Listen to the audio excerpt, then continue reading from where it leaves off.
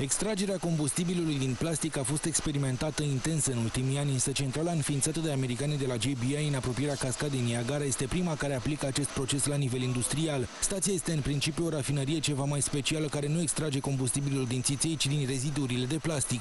This right now presently goes to landfill.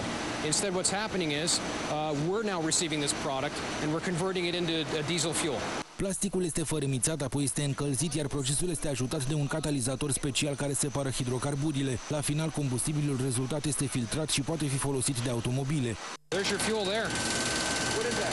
That's, that's it. Totuși, acest proces de obținere a combustibilului nu reprezintă o soluție pe termen lung. La un moment dat, petrolul tot se va termina și odată cu el și plasticul în actuala sa formă, care este la rândul său obținut din hidrocarburi. Pe termen scurt, însă, combustibilul din plastic reprezintă o sursă de energie care ar mai putea reduce într-o oarecare măsură presiunea asupra rezervelor mondiale de țiței.